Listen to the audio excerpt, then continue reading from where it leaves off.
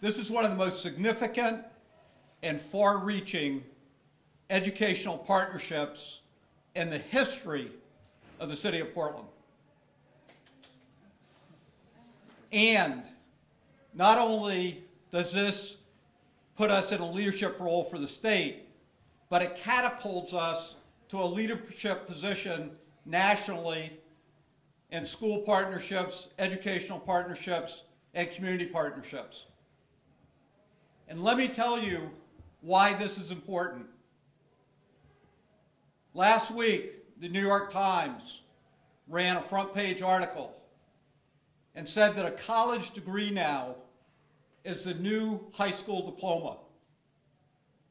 That across the country, employers are hiring people with college degrees for entry level positions. And if you simply have a high school diploma, your opportunity to compete, even for entry level positions, has been compromised. A couple weeks ago, Dana Connors wrote an op ed piece in the Portland Press Herald.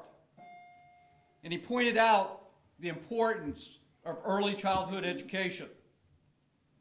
And in that op ed piece, he cited, he said that 60%, 60% of young people between three and five years old don't have the basic skills to enter kindergarten. And you know what that one of those basic skills are? They can't count from one to ten. They can't recognize letters and the alphabet.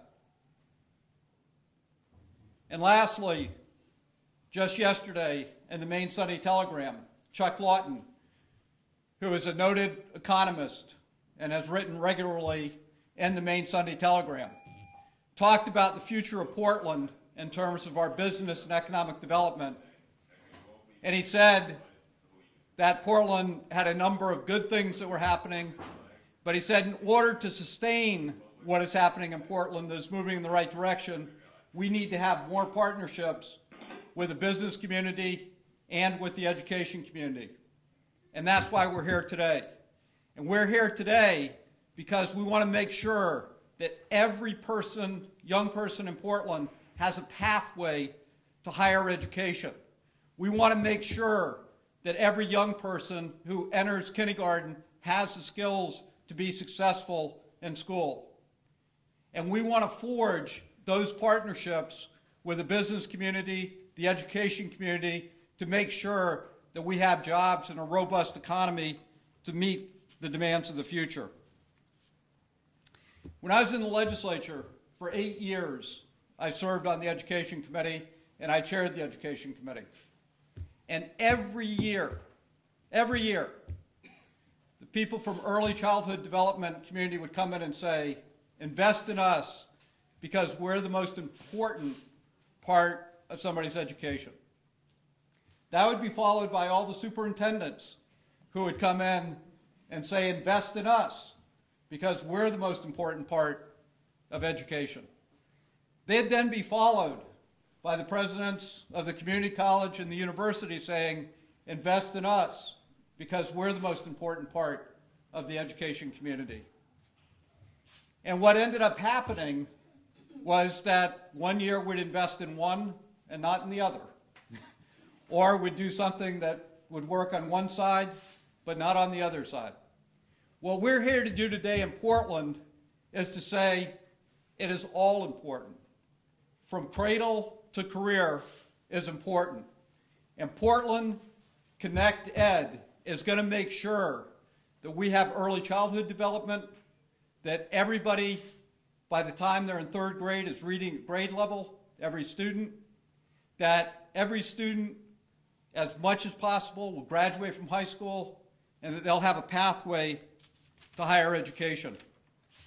So again, I'm very excited about this partnership. And one of the things I, I want to point out and make very clear is that because of a generous grant from the Gorman Foundation, we're going to be able to do this without any additional cost to Portland taxpayers or um, to the public at this particular point. I'm not going to be held to that promise forever, But at this particular point, we're going to be able to forge this partnership. We're going to be able to move forward with this partnership, and we're going to do it within existing resources and with the support from the uh, uh, Gorman Foundation. So again, I'm very pleased to be here. I think this is an important day for Portland, and I think this is an important day for students and for parents and the citizens of Portland because it really defines where we need to go, where we want to go as a community over the next five uh, to ten years. And so it's my great pleasure at this point to introduce Suzanne McCormick, the Executive Director of United Way, who's going to talk a little bit more about early childhood education. So thank you, Suzanne. Where's the baton? Uh, good morning. The United Way of Greater Portland is so pleased to be part of Portland Connect Ed. Um, a very significant part of our vision for the community involves um, having all kids succeed in school. And uh, as Mayor Brennan said, we know success in school starts very, very, very early, even before kids are born. Uh, and, and their pathway to success um, depends on what those first steps down that path look like. Uh, we know that kids, 85% um, of brain development happens in children before they get to kindergarten. And so if we only start thinking about how they're, what they're going to do in kindergarten when they get to kindergarten, we have failed them. Uh, at United Way of Greater Portland, we have been investing in early childhood education for the past um, many, many decades. Uh, but what's different and important about Portland Connect Ed is this is about connecting what we've been doing with what so many other people uh, are doing. Uh, we've had some really strong success over the last couple years in bringing other funders together, the Sam L. Cohen Foundation, which is here, JTG, which is here, and other funders who also care about early childhood development and education. We've been meeting and we've been working together and planning and connecting that now to Port Portland Connect Ed is, I think, going to really help um, move our work forward faster, and, and that's what's most important for kids. Um, we also know that parents are the first teachers of kids, and so part of what we'll be focusing on is not only how do we improve the quality of uh, pre-K for kids, but also how do we help empower parents in our communities to be the best teachers they can be for kids. Um, they start from the moment their children are born, and we also need to focus on their ability to be the best teachers. Um, we are really looking forward um, to getting started, and, and so much has already, already begun. We are part of a group um, called Starting Strong, which is a subcommittee of Portland Connect Ed. Uh, later this month, we'll be bringing in some colleagues from Rhode Island, Springfield, Mass., and Worcester, Mass. to help us learn about what they've done to connect early childhood. Um, and a really important part of that is not just getting kids ready for kindergarten, but making sure that once they get to school that they're going to have success reading at grade three. And here to talk a little bit more about that is our great partner and friend, Tony Cipollone, who is president of the JTG Foundation.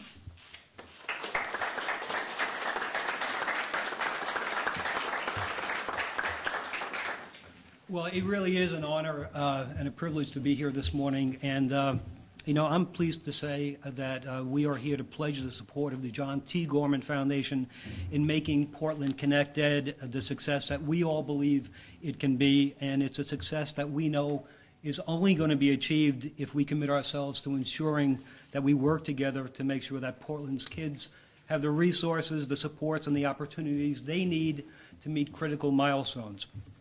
Now, Suzanne just noted we've got to do everything that we can to ensure that kids are born healthy, that they have access to quality early childhood development experiences, and that they arrive at school ready to learn and succeed. But arriving ready is not sufficient. In fact, it's only the beginning of the job. If kids are really going to succeed academically, it's also essential that we make sure that they learn to read proficiently especially by the time they complete the third grade. Why is this such an important milestone? It's because third grade is a turning point for when kids transition from learning to read to reading to learn. And its importance is borne out in study after study. Nationally, we know that 74% of students who fail to read proficiently by the end of third grade falter in later grades, and that these children are four times more likely to drop out of school than kids who have succeeded at that grade level. In Portland, we know that two, uh, about two-thirds of our kids, 64%, uh, do in fact reach proficiency by the end of third grade, which is slightly below the state average. But what may be even more telling and more important in my mind is the fact that this statistic marks some significant disparities when we consider that only 48%, or less than half of our poorest students, achieve this important milestone compared to 81% of our higher income students. So we've got work to do on this front. But to be successful, it requires that we all work together locally. It requires that we work with nonprofit partners and requires that we connect with national efforts such as the Campaign for Grade Level Reading uh, so we can access the best type of technical assistance that we can. So for all of us here today, the message is pretty clear and the connections are obvious. If more young adults are going to succeed in college and the workforce, we've got to commit to improving our graduation rates. But doing so means that we've got to be equally committed to improving our third grade reading proficiency rates, which means that we've got to be as committed to ensuring that kids get the developmental experiences that they need from birth to five. So in sum, it all connects, and that is why we're here today. And let me say that you have the commitment of the John T. Gorman Foundation to do all that we can to work with our partners to close the readiness gap to support efforts to engage parents, promote innovative approaches for advancing literacy for our youngest learners, and address the factors that we know may inhibit or facilitate success. We are proud to stand here as part of what appears to be an unprecedented partnership that can help every child in Portland succeed no matter where they live, no matter where they came from, no matter what language they speak, and you can have the, that they can have the support and opportunities they need to dream, to succeed, and to thrive in the future. And there is nothing that I can think of that is more important to the future of the city of Portland. So with that, uh, I'm pleased to introduce uh, Dr. Emmanuel Caulk, uh, the superintendent of the Portland Public Schools.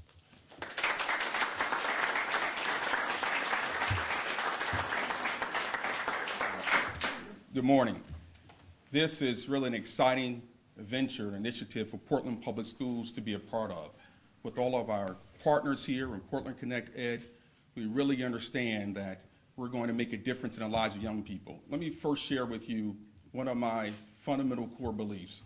I believe that it takes an entire community to ensure the success of our public schools. What Portland Connect Ed, as a game changer, has done is taken that belief one step further, and that is to ensure the success of each and every student from cradle to college to career to citizenship. And so, what we want to do is to uh, identify as one of our key goals is the graduation rate, and that is to ensure that we have a graduation rate of 90% or higher by 2016.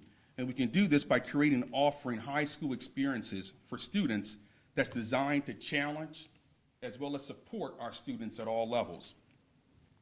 I'd like to take a moment to really identify our founding partners in this work the City of Portland, Creative Portland, Sam L. Cohen Foundation, John T. Gorman Foundation, Opportunity Alliance, Portland Public Library, Portland Regional Chamber, United Way of Greater Portland, and Portland Education Association, along with Southern Maine Community College, and the University of Southern Maine. As you can see, through this collaboration that is unique to our city, Portland Connect Ed will break through our classroom experiences for students by taking learning beyond the classroom walls and then bringing in national experts, uh, business acumen, and community leadership together to augment and support Portland schools creating unparalleled educational experiences for our students. Now, unique and exceptional experiences for our students is becoming the norm in Portland. Most recently, our students who are represented today had an opportunity to attend the Camden Conference. And thanks to the help of Sam L. Cohen Foundation, our students uh, were able to uh, Skype prior to this conference with our U.S. Senator, our former Senator George Mitchell, who also served as a special envoy to the Middle East and learn firsthand from international journalists, statesmen and women, diplomats, military and intelligence officers, and renowned academicians. These opportunities, these expanded opportunities, is what it's going to take for us to prepare our students not only for um, to participate in a local or national economy, but participate globally. And so we're looking to really prepare our students to do college level work in high school. And that's why we're going to expand our advanced placement courses. That's why we have our partnerships with dual enrollment to really ensure that our students are prepared for that next step. The mayor talked about it, that in the past, the high school diploma was the, the ticket, uh, was the finish line, if you will. We know today that that's no longer the case. That if we are to, again, ensure the success of each and every student, we need to prepare them to uh, participate and be able to succeed in post-secondary. Some of that work has already begun in Portland Public Schools. In collaboration with Nellie Mae, they made a significant investment in our school district, along with our partners, Jobs for Maine graduates, Learning Works, and Community Leadership Engagement Committee. We begin to remodel our high schools. As you know, Casco Bay is focused on expeditionary learning model. Deering High School was uh, the first high school in the state of Maine that partnered with the International Study Schools Network and one of 30 in New England. And Portland High School has also partnered with Johns Hopkins uh, Talent Development to create a ninth grade academy, but also to build upon that in terms of career academies. All in an effort, again, to ensure that our students graduate uh, prepared for post-secondary endeavors. Along with that, it takes really a strong partnership from the business community. And here to share with you how the business community will support Portland Connect Ed, I'm going to invite our acting uh, chairman, Chris Hall, to come Thank forward. you, Matt. Appreciate that.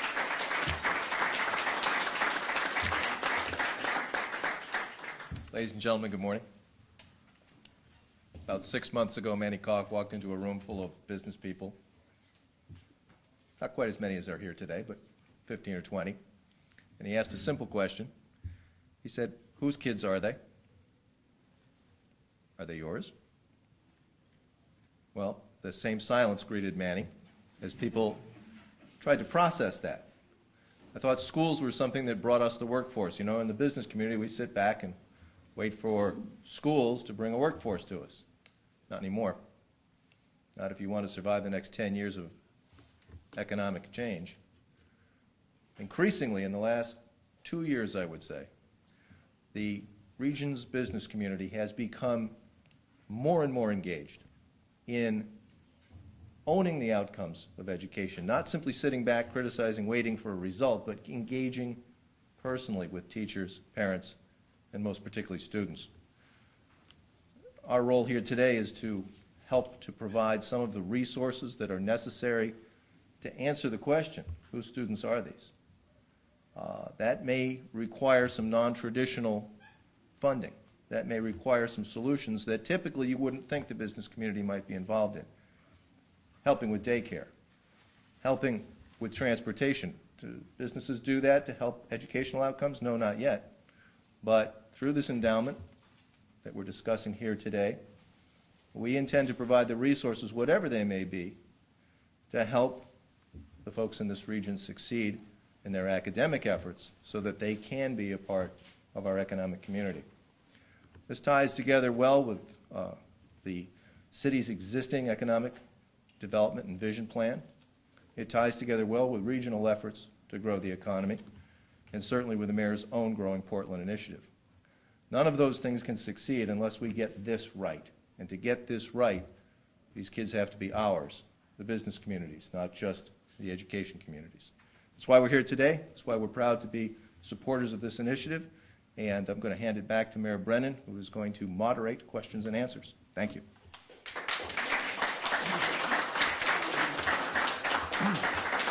And, and before we take questions, uh, what I'd like to do is just uh, briefly uh, do introductions, uh, starting over here with uh, President Cantor. Ron Cantor, President, Southern Maine Community College. Michael Stevenson, Provost, USM. Steve Pagoni, Director, of Portland Public Library. Jennifer Hutchins, Executive Director of Creative Portland. Tony Cipollone, President of the John T. Gorman Foundation. And hello, I'm Louise Marsden, and I'm representing the Opportunity Alliance today. Suzanne McCormick, President of the United Way of Greater Portland. Resolve Portland Regional Chamber. Manny Goff, Superintendent, Portland Public Schools. Nancy Brain, Sam L. Cohen Foundation. Lee Rapi, senior at Portland High School. Amanda Grandia, senior at Portland High School. Lilia Mohammed, junior at Portland High Uh, Elias Nasser, the senior at Portland High School. Chip Weber, senior at Portland High. Uh, Joe McDonald, Dean at USM. Kathleen Casesa, president of Portland Education Association. Thank you. Does anybody else wants to introduce themselves? Mike, Mike Dixon? Uh, Mike Dixon, Executive Director of Portland Connect Ed from Cradle to Career. Happy to be on board. Manny, who are you pointing to? David. David Galin, Chief Academic Officer, Portland Public Schools. I- I've never known David to be. Aaron, do you- Uh, Erin Oldham, I'm providing staff to the Starting Strong Subcommittee of Portland Connect Ed. a- anybody else? Okay. Carter? Uh, Carter Friend, of United Way of Greater Portland, working closely with the Starting Strong Subcommittee. Uh, I'm Chanda Turner. I'm the coordinator of family and community engagement for Portland Public Schools. If I could, I'll just note in the back row, we have Eric Moynihan from Jobs for Maine Grads and Portland High School, Kathy Marquis Gerard, Assistant Principal here at Portland High, and Glenn Nurback, Director of the Mentoring Alliance here at Portland High. And our principal, I'm very happy to have all of you here. Great to be here. Well, thank you very much, and, and again, we're more than happy to answer any questions that uh, we're able to at this point. Randy?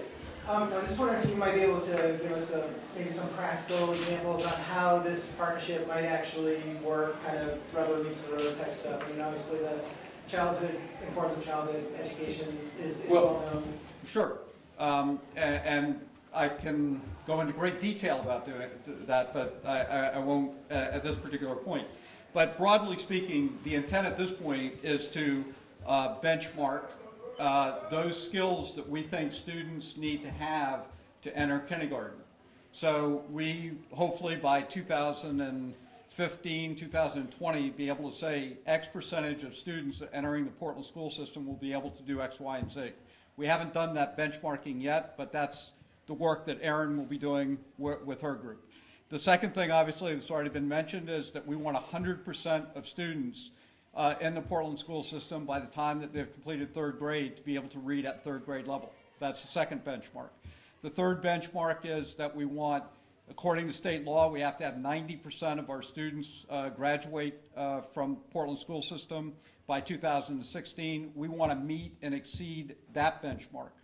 And lastly, um, I, the, the, the other benchmark will be that we don't want any student that graduates from the Portland school system to believe that they cannot go on to higher education because there are financial barriers to them. So our benchmark will be that, a, that any student that graduates from the Portland school system that would like to go to the community college, like to go to the University of Southern Maine, that they'll have the financial resources uh, to be able to do that.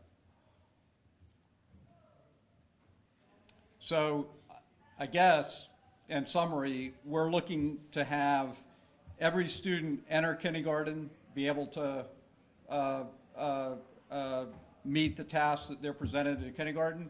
We want every student to graduate from the Portland school system, and we want every student to have post-secondary uh, educational opportunities. Is there a roadmap to get there? Yes, sorry. I thought A roadmap to get Is there a roadmap, like, you know, how do you actually do that, or is that the work you guys? do? Well, that's why we have this partnership um, that has all the different pieces that we're going to be putting together. Uh, uh, and, and again, I think one of the key aspects to this is that we will be establishing community benchmarks that we will be looking to uh, uh, to see whether or not we're successful with this venture. And that's the purpose of this partnership, is to create that roadmap. Yes. Well, the first uh, benchmark, how, how do you reach out to kids before they get to kindergarten if they're not already in the school system? Right. Well, one of the things that we're very fortunate in Portland, we have one of the widest um, arrays of early childhood educational opportunities of any city, any place in the state of Maine. Um, so the, part of it is, is um, uh, first developing a network of all those resources so that there's a coordination between the various uh, early childhood education initiatives. Then secondly, is working and reaching out to parents. We now have, through the Portland School Department, uh, a, a parent community outreach coordinator uh, who will really be working to identify uh, parents and to identify children that we want to be part of this early uh, childhood initiative. But I, I think it's important to say, and, and Chris Hall mentioned this, we're, we're talking about every student. We're talking about every parent. We want to reach out and make sure that every child, every um, uh, parent in the city of Portland believes and is touched by our early childhood education system. So one of the very first things we need to do is turn it a little bit more into a system, and we need to make sure that we're reaching out and touching all those families and all those students, and that they have the opportunities to develop those skills to be successful when they enter kindergarten. Yes.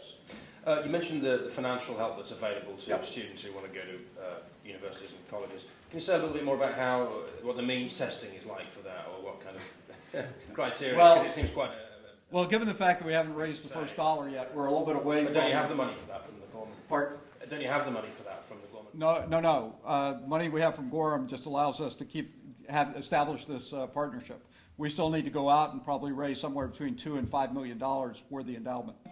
Um, and in that process of raising that money, we will have a committee and we'll be sitting down with the chamber uh, to put together those uh, uh, requirements and to put together the benchmarks uh, that we will want that will apply to the endowment. So we haven't decided yet exactly um, uh, the parameters in terms of who qualifies or how extensive the uh, support might be. But those do you have a, a, date by which you would have to have that money? We, certainly by the end of the year, uh, we, we hope to be able to do that. Again, it's kind of an evolutionary process of us putting together the fundraising plan, and then at the same time, we'll be looking at how we can best uh, uh, use that money. Because obviously, we're not going to wait until we raise $5 million in order to start uh, uh, dispense money.